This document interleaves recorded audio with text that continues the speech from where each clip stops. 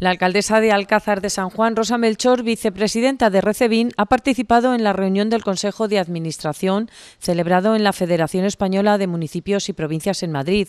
En la reunión se proponía que la presidencia recayera en la alcaldesa de Alcázar de San Juan. España, a través de la Asociación Española de Ciudades del Vino, ACEVIN, de la que la alcaldesa alcazareña es presidenta, asumirá próximamente la presidencia de Recebín dentro del turno rotatorio establecido en los estatutos de la Red Europea de Ciudades del Vino.